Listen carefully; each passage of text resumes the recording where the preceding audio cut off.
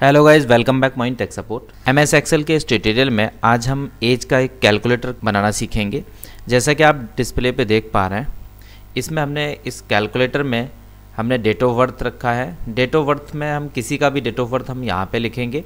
और उसके बाद में हम जो उसका एज है, जिस एज को उनकी उम्र जानना चाहते हैं या एज जानना चाहते हैं, उसको हम यहाँ इसमें एज ऑन यानी कि किस डेट को हम उनका एज जानना चाहते हैं, वो डेट हम यहाँ पे रखेंगे। उस डेट को हम कैलकुलेट करेंगे ईयर में मंथ में और डेज़ में कि कितने साल, कितने महीने और कितने दिन की एज हो चुकी है। इसके बाद में नीचे हमने यहाँ पे दे रखा है एज इन वर्ड यानी कि उसी एज को हम वर्ड में कैलकुलेट करेंगे। ये सब कुछ ऑटोमेटिक होगा एक बार फॉर्मूला लगाने के बाद में तो प्लीज़ वीडियो में एंड तक बने रहिएगा। चलिए देखते हैं एज कैलकुलेटर कैसे क्रिएट किया जाता है, जो कि ऑटोमेटिकली एज को कैलकुलेट करेगा। आपको सिर्फ़ यहाँ इन दोनों डेट्स को ही डालना है। किसी का भी जो डेट ऑफ़ बर्थ है, उसको यहाँ डालना है, और जो जिस डेट को उनका एज निकालना चाहते हैं, उसको यहाँ डालना है। उसके अलावा आपको कुछ भी नहीं करना ऑटोमेटिक एज आपकी क्रिएट हो जाएगी।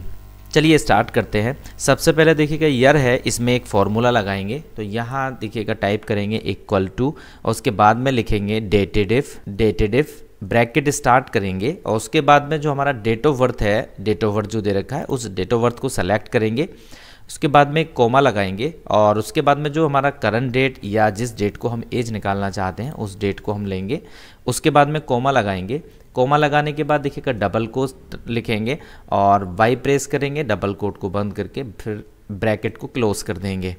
इसके बाद में एंटर करेंगे तो यहाँ ये क्लियर हो जाएगा कि एज जो है वो कितने साल की है।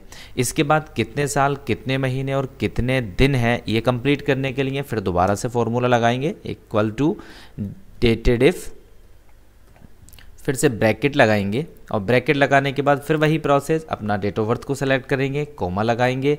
इसके बाद में यहाँ हम फिर जिस डेट को एज निकालना चाहते हैं, उसको सेलेक्ट करेंगे, फिर से कोमा लगाएँगे और डबल कोट रखेंगे। डबल कोट के बाद में यहाँ देखिएगा ईयर लिखेंगे और मंथ यानी कि वाई और एम हम टाइप करेंगे और डबल कोट से बंद कर देंगे।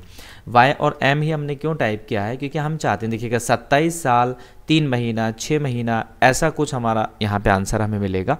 अगर हमने यहाँ पे सिर्फ़ मंथ रखा तो हमें जो ऑल ओवर मंथ एज है, उसको मंथ में कन्वर्ट करके यहाँ पे शो करेगा। तो इसलिए वाई और एम रखेंगे, यानी कि कंप्लीट ईयर को एक्सेल होल्ड करेगा और कंप्लीट जो अनकम्प्लीट है, उसको यहाँ पे मंथ को शो करेगा। जैसे एंटर करेंगे तो देखिएगा 27 साल 8 महीने, आगे कितने दिन होता है, उसको हम देखेंगे। इसी तरह से equal to dated if bracket start करेंगे। और यहाँ पे भी जो डेट ऑफ़ बर्थ है, उसको सिलेक्ट करेंगे कोमा लगाएँगे। इसके बाद में फिर इस डेट को लेंगे, फिर कोमा लगाएँगे डबल कोट रखेंगे। अब की बार में हम मंथ को होल्ड करेंगे और फिर डे को लिखेंगे। डबल कोट से बंद करके एक ब्रैकेट लगाएँगे और इसको एंटर कर देंगे। इससे हमें पता लगता है कि जिस पर्सन की डेट ऑफ़ बर्थ हमने यहाँ लिखी है, इस डेट को उनकी एज सत्ताईस साल, आठ महीना, छब्बीस दिन है।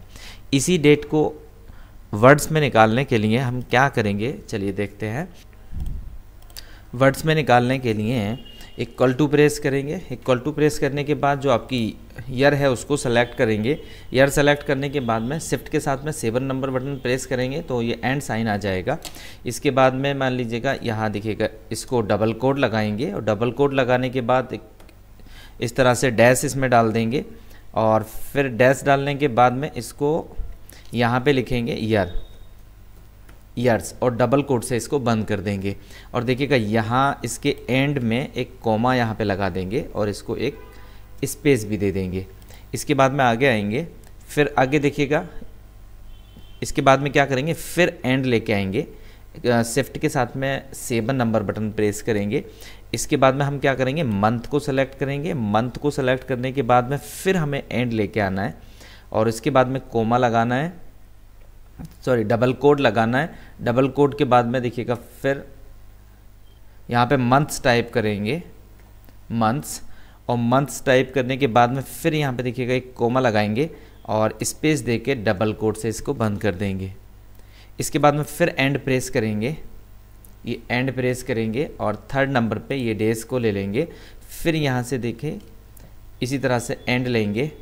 और एंड लेने के बाद में फिर यहाँ पे डबल कोट लगाएँगे। डबल कोट लगाने के बाद में फिर आगे चलेंगे और इसको लिखेंगे यहाँ पे डेज़ डेज़ और इसके बाद में कोमा लगाएँगे। कोमा लगाने के बाद स्पेस देंगे डबल कोट से इसको बंद कर देंगे और इस तरह से इसको एंटर करेंगे। तो इस तरह से देखिएगा हमें ये एज हमें मिल जाएगी। यहाँ जो है हमें कोमा लगाने की कोई ज़रूरत नहीं है। इस तरह से 27 साल 8 महीना 26 दिन इस तरह से हम एज को निकाल सकते हैं। तो आई होप आपको समझ में आया होगा। फिर से देखते हैं। डेट ऑफ़ बर्थ हमने ये रखा है। अब यहाँ देखिएगा, जो दोनों डेट्स हैं हमारी, हम इनको चेंज कर सकते हैं। और जैसे चेंज करेंगे लाइक हम इन दोनों डेट्स को यहाँ पे रिमूव कर देते हैं, हटा देते हैं। ये डेट्स हमारे पास अभी कोई भी नहीं है। अब देखिएगा, इसमें अगर किसी का भी डेट ऑफ़ बर्थ रखेंगे लाइक किसी का डेट ऑफ़ बर्थ है four zero six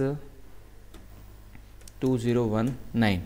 ये किसी का डेट ऑफ़ बर्थ है और इसके बाद में करंट डेट लाने के लिए कंट्रोल के साथ में कॉलन बटन प्रेस करेंगे तो इस तरह से ये डेट ऑटोमेटिक कैलकुलेट आ जाएगी। जिसका डेट ऑफ़ बर्थ 6 अप्रैल 2019 है और उसको आज अगर एज निकालना चाहते हैं तो चार साल, ग्यारह महीना, पच्चीस दिन, यानी कि यहाँ पे भी दिखा रहा है। इस तरह से ये जो दोनों डेट्स हैं आपकी, इन डेट्स को हम चेंज करेंगे तो ऑटोमेटिकली नीचे हमें रिज़ल्ट मिल जाएगा।